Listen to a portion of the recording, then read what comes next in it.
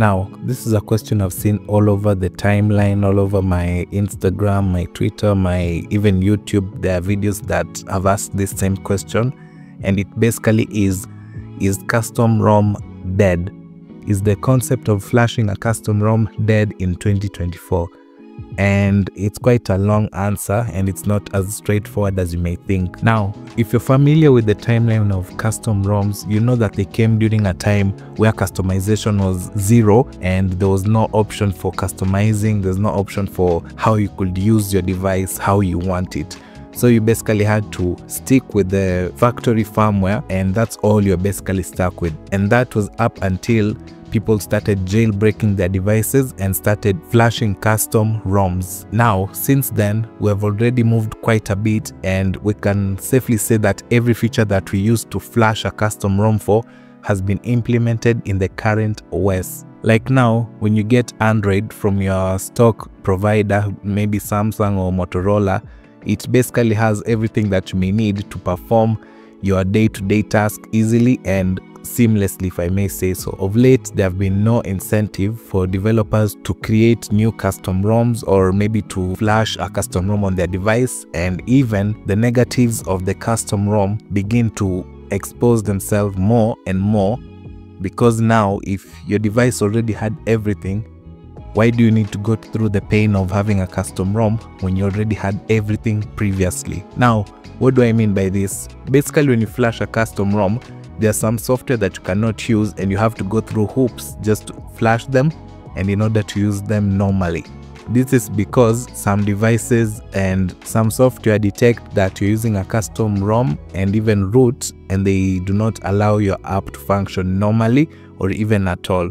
So you basically have to go through some steps to fool the application that your device is not unlocked and that you've not rooted or done anything which can be a pain since up to now it's quite hard to get to the top tier of bypassing this restriction. Let's just call it as it is. It's the play integrity.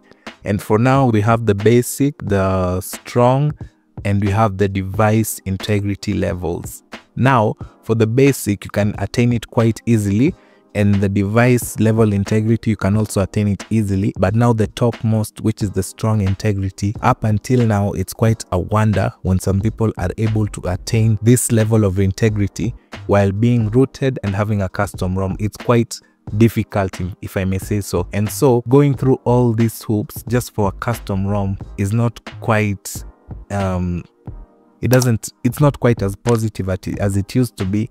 And this leads to people asking is a custom ROM really viable in 2024 now my answer is it depends. It depends on who you are and what are you looking for. For the regular day-to-day -day user, I may say that it's not needed for you to custom ROM your device since everything you need is already there and you may not benefit from the root or even the custom ROM being on your device as it may have been like years ago. But for some people who just want more options and more freedom for their device, I can say you're quite free to do so. And I even implore you to keep the roaming alive and just keep rooting your device, keep developing.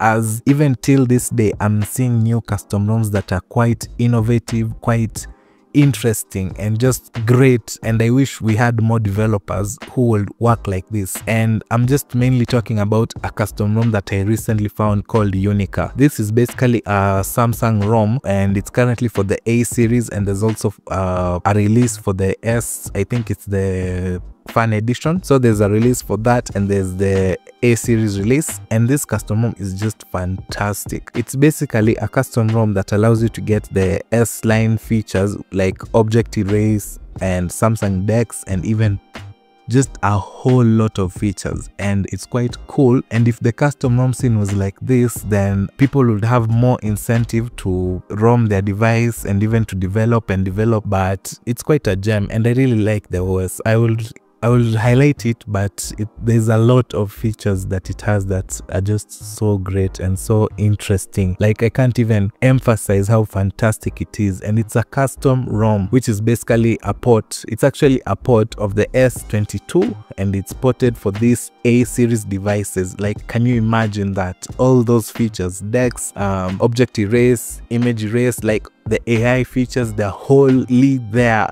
everything is just there. And this this is something that just makes me so happy that someone just sat down and developed this from scratch. Like literally from scratch. And they had like a small team and they came together and they just developed this cool thing.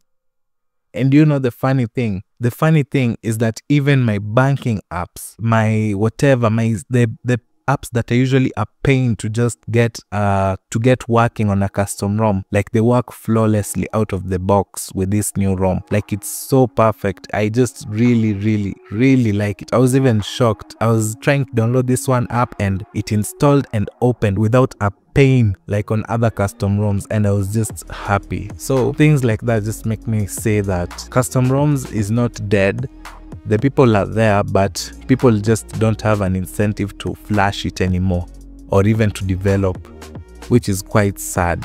Since if we had more brains working on this kind of thing, like maybe someone to port One UI for the Xiaomi tablets or even phones or even just something crazy and innovative in the field, it will just be really, really, really great. And I wish we could just have more of that and if we did, we wouldn't even have this discussion in the first place. People would be happy to just flash and develop. It's quite it's quite sad really.